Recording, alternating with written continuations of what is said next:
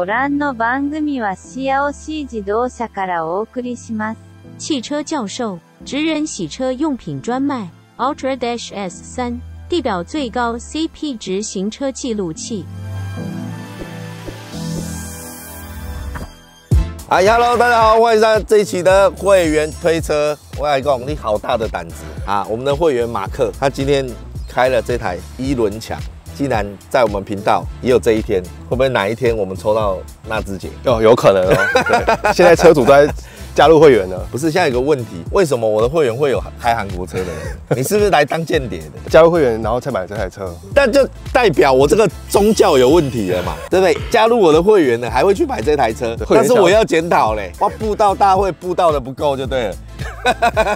没有啊，不过你不是说你前一台就这个了？对啊，对不对？你是从旧型，前一台是二零一一三年一三年的，然后换换成二零二零年，这台是二零二零年的，它叫做 Elantra Sport，对，一点六涡轮的。这里我看贴一个 Final Force，最后的限量三百台，对，非常的刺激，好不好？今天呢，这个除了它潜伏在我的会员粉丝里面以外呢，他还是一个始终的一轮强的爱好者，还嗨了两台。是什么样的情况会让你想要加入这一个反韩大将军的频道里面呢？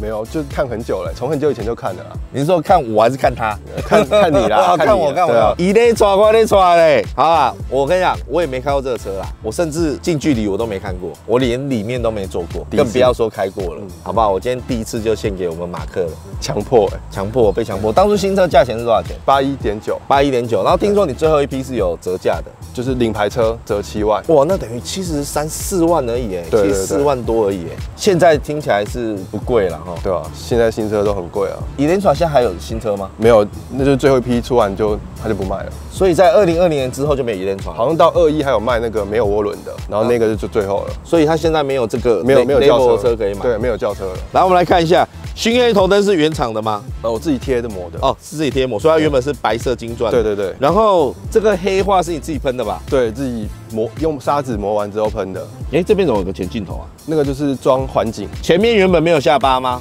下巴被风吹走了。屁啦，真的开高速原厂的，原厂的 Sport 的下巴。对，原厂 Sport 下巴在高速公路不见了，还好没有砸到后面的车啊，不然就完蛋了。所以它不见的时候你不知道？我听到咔啦咔啦咔啦咔。然后回去看行车记录器，就听到咔啦咔啦，没错，但是东西就不见了。所以原厂的大包没有锁螺丝哦，你看下面都没有螺丝。对啊，去请人家看的时候没有锁。哦，所以它是粘了一个下巴。应该对，它只有。然后你开高速喷，你是开很快是不是？就是紧绷速线内啊，紧绷速线内。对对对。哦，买多久了？飞走了？就一年多而已啊，是蛮屌的。哦，这样就可以喷走。好，然后这个啊，这不是雾灯哎，它应该是雾灯。然后有方向灯的功能，然后我上下有贴黑贴黑的膜了。哦，所以它是整颗是不是？对，是整颗的。本来是这样整颗啊。对，我把它贴黑色的膜，反正雾灯比较少用到，对吧？然后这个通风口是真的有用的。好，它真的有通风口，然后看它侧面，它有换铝圈呢，旁边这个名牌是它原本贴的，对不对？所以你这个胎皮的规格是没有换的嘛，对不对？避震器有没有改？没有改。然后这个壳是贴的，壳是自己贴的嘛，这看得出来是自己贴。它都没有天窗吗？这个车系没有，没有天窗，这个车系一律都没有天窗，旧款才有。哦，原本侧面它就有做一个镀铬的饰条，好，然后这个窗框都是用黑色，自己有自己贴的，自己贴的，所以原本是没有，原本是雾面的。我刚才想说蛮高级，啊，这个都哎，这都那个也是自己贴的，对啊。虽然我们是法兰大将军，我们有一说一，对不对？有质感的东西我们还是要讲。结果你说自己贴的，你改你改改你绕口，我不懂啊。啊，电镀手把总是原来的吧？对啦，是原，怎么可能自己垫的？侧面的这个侧裙也是原版原本就有的。后面这个呢，老流版那个什么限量版中它装的啊。限量版会有一个老老流版黑化的这个也是也是因为限量版哦，鲨鱼鳍黑化也是限量版才有，后面这片也是，所以这个也是原厂买的时候就就有这个小鸭尾，真的是对应这些年轻人 sport 的感觉哦。后面就有那个下巴了，对，下巴后面总不会吹走了吧？后面走，你不要乱乌鸦嘴啊，哪一天后面要吹走？然后尾灯呢，原本就都这样，有没有贴膜还是什么？这一块有贴。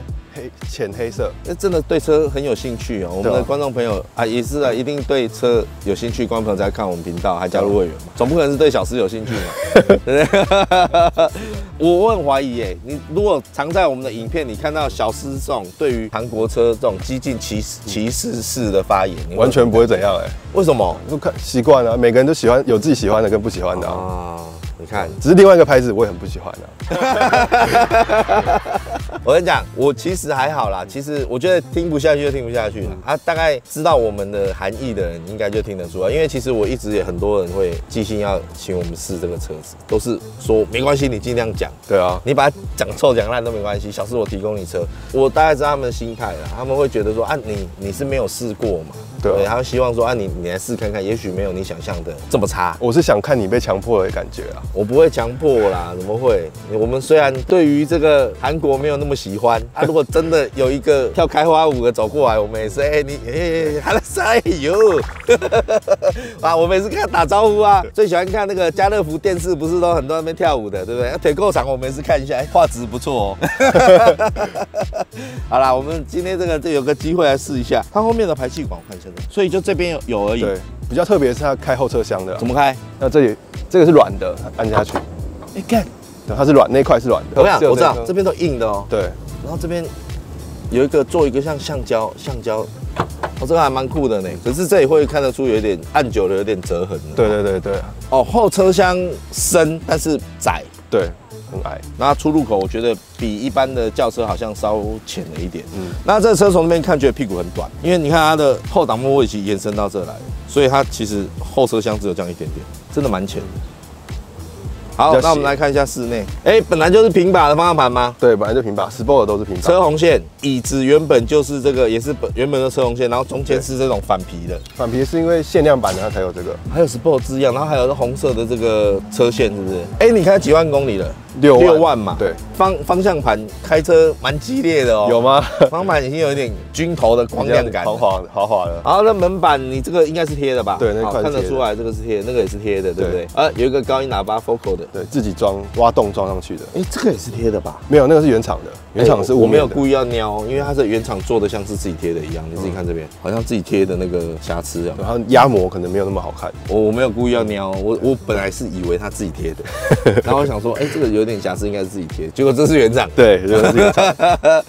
啊，然后这边有一块皮，然后剩下就是硬的塑胶。室内的部分，你除了贴这一些饰条以外，气氛灯，好，气氛灯，然后主机是换掉的，对，主机是换掉，本来没有环境，你换成那个是算安卓机吗？对，安卓机。不过这个椅子哈，其实我觉得它的配色没有问题，然后这个麂麂皮的搭配是没有问题，但是我我自己觉得这个线啊有点稍显没有质感，就是它的这个车边线、滚边线，觉得有点没质感。它是这个手动的椅子，全部都手动的，哦，全部都手动的椅子。这仪表板的这个也是原版原本的吗？对，那原本的。啊，这怎么这样？你看这这边边扭啊，就是都会有一点好像自己贴的感觉，有没有？那好像是他们后期贴的。嗯，哎，而且真的不是故意撩，你看，其实这个也是啊，这边也是啊，就是会有一个。不知道是磨料的那个瑕疵还是什么，七十几万啊，不管怎样，还 不错啊。它原本就这个了呢。哦，这个就是那个防止有风切声的，在叶子板的这边。这应该不是自己家的，不是装，这应该原本就有的。那这个因为我刚刚做过了，这个位置是我的开车的位置，我来看一下后面的空间怎么样。哦，意外，它中间的凸起没有没有很高哎，哎，有后座出风口呢。哎，地图带走一边。哦，黑天棚，我就说其实做黑黑天棚最最保险。椅子蛮低的，然后我的大腿是往上斜的，它椅子有做一个陷进去，不过椅子本身的背部是蛮舒服的。哇，这个我它后面切它下来，我我头发已经完全磨到天花板，所以我不能坐直，我大概就是这样做。好了，我我我没有特别撩嘛，来，我还好吧？对啊。很普通啊，很普什么？你是说车很普通，还是我 我的瞄的很普通？瞄的很瞄的很普通，对不对？我觉得这个要接下来等我们上路去开看看啦，搞不好开起来就很很闹翻。不会，我看他很有信心的样子。你怎么当初会想要前一代换新一代？你前一代的体验很好吗？前一代没有坏过东西，没有坏过东西，换耗材，耗材对就换耗材的意思，东西都没有出过保固，开了十年都没有没有问题，开了十年都没有问题，对吧？没想到换了这台不到一年。不到一年，全新就一堆问题，对，原厂还听不到，所以是看人品，对，有可能人品这十年来变了不少。所以这个你是因为说前一代觉得外形啊开起来都蛮喜欢，再加上你觉得妥善率也不错，对，所以你就买了，对，下一代。就出事了。呃，也没要说出事，现在也是还好好的，现在也还好，没保啊，现在没过保护哦，所以你应该也还没花，除了保养钱，你应该也没花到什么钱在这台车上，对，还有改装的钱嘛。那。整体还算不错啦。其实我一直在强调，有时候哦，车子好不好是一回事，自己喜欢就好，但后勤很重要，对不对？你如果说它一直坏，然后在后勤你要出保护又麻烦的话，那就蛮闹赛的。对啊，应该就是出保护很麻烦，哎，对吧？都听不到，有料哦。对啊，我们车上跟大家分享，我们出去试试开看看，走走走走走。汽车教授，职人洗车用品专卖，Ultra Dash S 三，地表最高 CP 值行车记录器。耶，来来来，哇，我们的会员非常的有勇气。你知道你有勇气的点在哪里吗？开现代。第一点是开现代，还加入我的会员。第二点是就这么幸运，开现代抽到你，来让我这个研究一下。你避震器没改，只有改铝圈，它原尺寸只是比较薄嘛，比较轻一点。轮胎都是同样的，轮胎的那个叫什么？扁平比耶，都一样。哦，所以你只是单纯只是为了换一个自己比较觉得比较好看的铝圈。对，避震器没改。对，避震器没改。其实原本就还蛮跳的，很硬。你这个是 Sport 的版本。对，所以胎压我都小时候会想要低一点。马力几匹？原厂是两百零四。两百零四啊，但是你说那个晶片有一阶，一阶这样会变多少？两百两百三，两百三。对，刷了晶片之后，你觉得就是会会打滑？如果重踩的话会打滑。这么猛哦，不会怕？变速箱坏掉，对已经坏过了，对，坏过了 啊！这个等一下我们再研究一下这个问题，爱恨情仇嘛，是不是？对啊，交车的时候业务就有讲过了，就啊，真的讲什么？他跟我说，你就。直接把它踩坏没关系，保固内直接换，所以 他已经先打预防针，保固内一定会坏的意思对对对对，这假的啦，哪有人这样卖车的啦？本来想说他开玩笑，结果真的坏了。你有车到便宜？有有有有有有有跟车吗？没有跟车，它的比较便宜的版本就有跟车。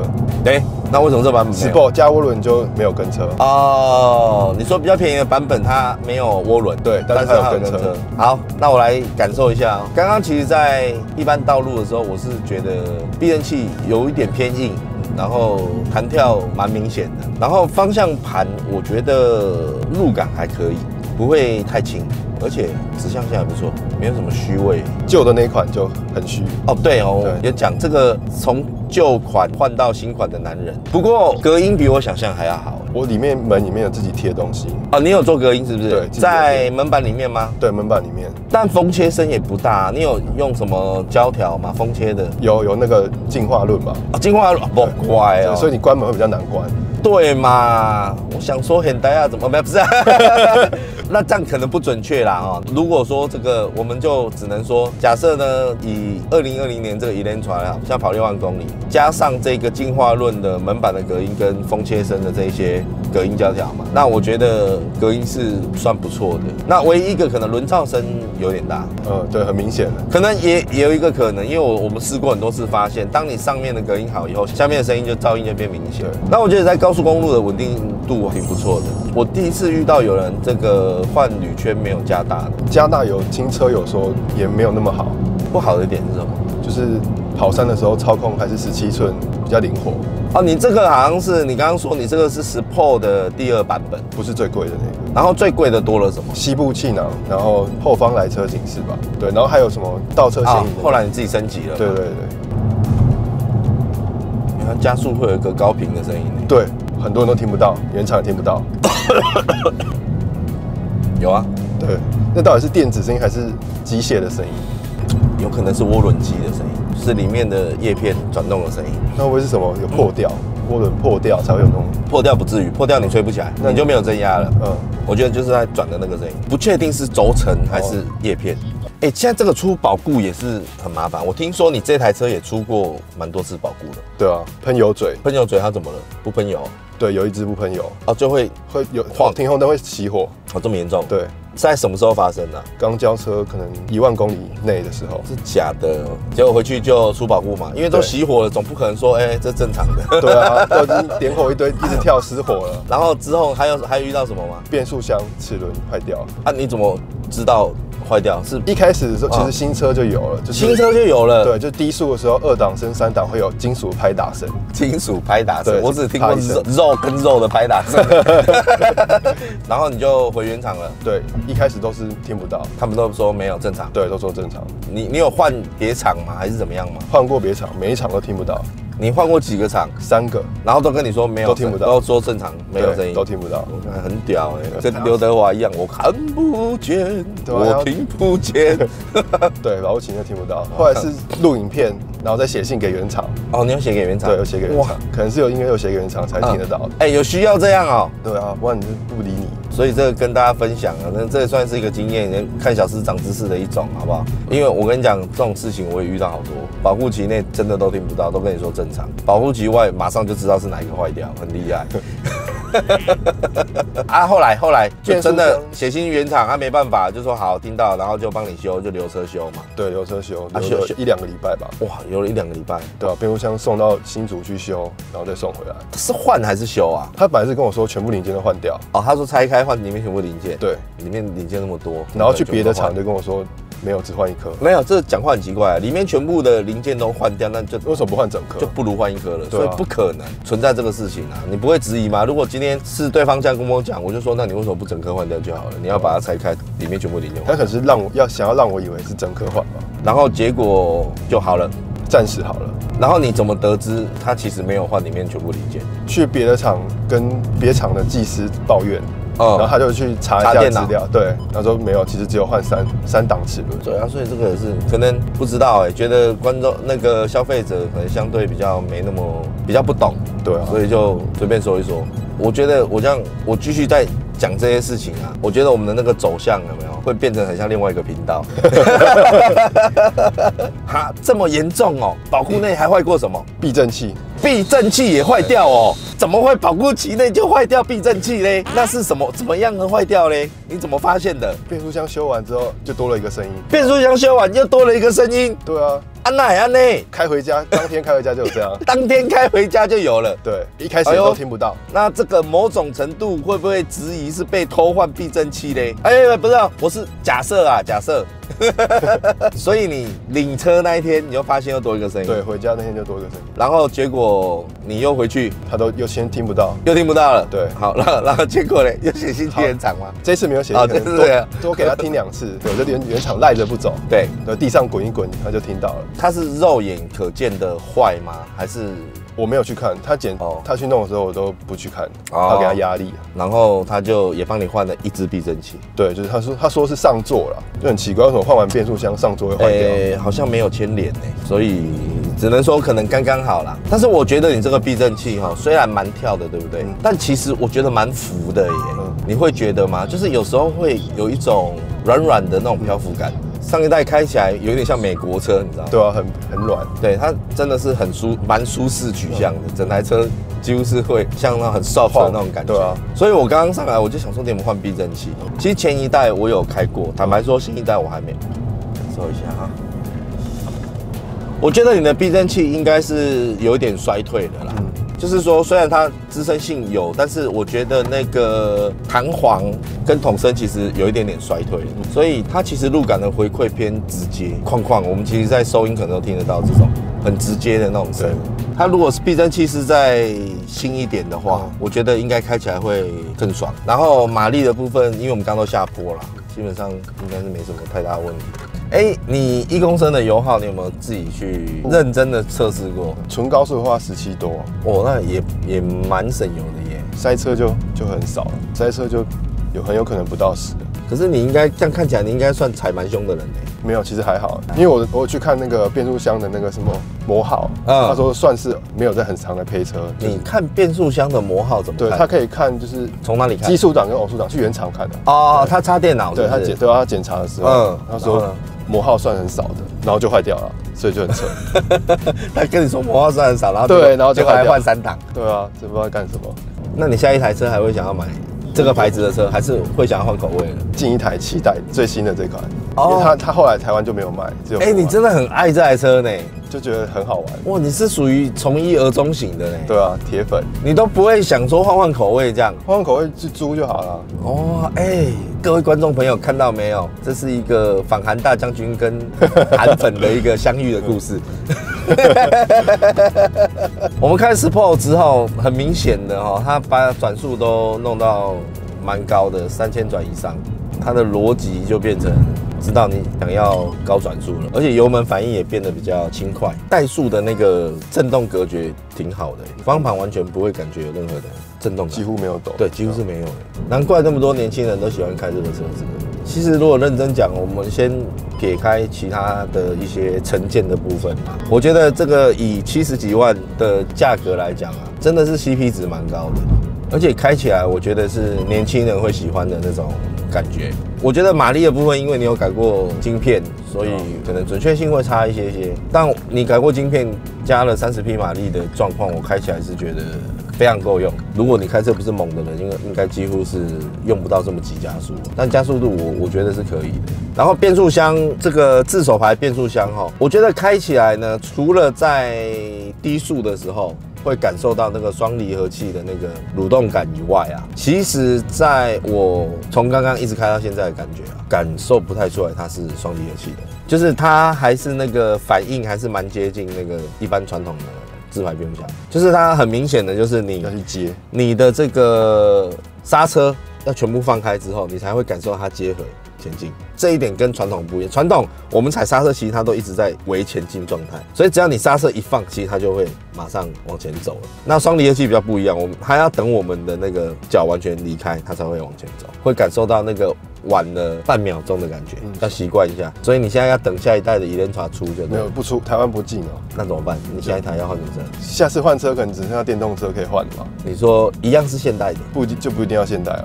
哦，所以你是这一台车的迷，不是现代车的迷。对对对对对。哦，是这种感觉，是不是？这种轿车啊。大陆那边好像现代有出一台 Elantra N 呐，哦，听说马力很大，新一代。你说第七代，这是这是第六 N，就像他们的 M Power 的意思。对对对对对对对。然后它好像有很多。运动化的配置，然后马力很高。好了，这个总结一下好不好？因为哈，比较抱歉，我比较不知道这台车现在的行情。你有没有大概研究一下你这台车的二手行情？听说五十几吧。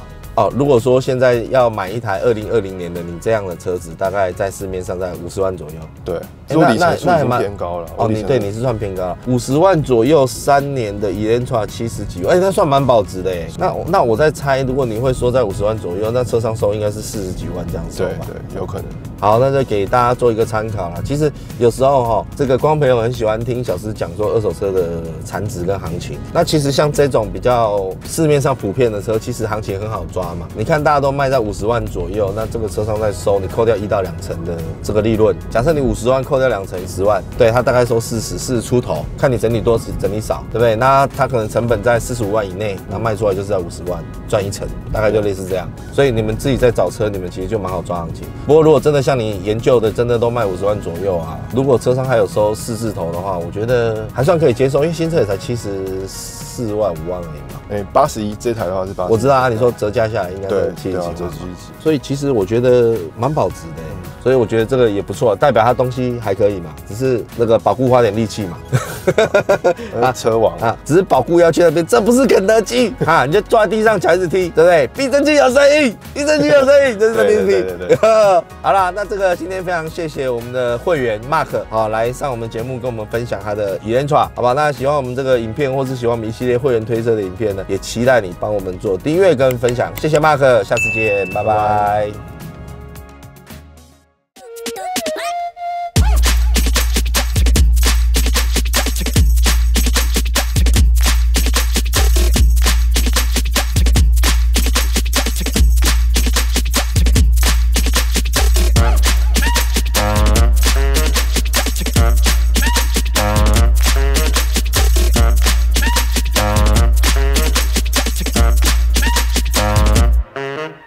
车教授，职人洗车用品专卖，Ultra Dash S 三，地表最高 CP 值行车记录器。我不是我不是说韩国车不好，是我没有接触。很多观众朋友都搞混了，说哦，小石都说韩国车烂，其实不是，我是不愿意花时间去研究，不是说我说它烂，那个是不一样的东西。也许它很好，但是我没有花时间去研究，其实单纯就是这样。我们统一口径，不要再有其他说法了。在你心中有芥蒂吗？应该没有啦。是对，可是就觉得很很扯啊，怎么会坏那么多东西？哦，因为前一台完全没有坏东西。哎，而且你不是在头批买的，你是尾批买。对啊，最后的最后，这一款是从几年开始出的？一八是六代，这个是小改款。六点五代，就是重新拉皮。哦哦哦，那那也要算呐。那你如果从六代开始算，这一台这个形式造型出来的话，应该是一九年。但是。一点六 T 跟双离合器这个东西，应该是一六吧，一六就有了。对，一六就有了。那那也应该要 debug 抵的差不多了，怎么？对啊，然后出一堆奇怪的东西问题，所以真的有可能是剩的料拼凑起来。没有啦，他那个时候就是跟我，我本来就跟他讲白色，他说没有白色，嗯然后隔几天之后跟我说有了，生产给你的，对，拼起来，叫叫那个零件找一找，不要的拿来装一装，哪那么厉害，真假？